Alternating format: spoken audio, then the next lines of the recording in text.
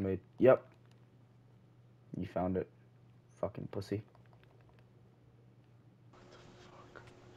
What a fucking bot. I'm dead. Oh. Oh. I didn't like, bro. I've never gone that way, so yeah. Ramos just fucked me. All right. What a fucking idiot that guy is. Who makes pathways like that?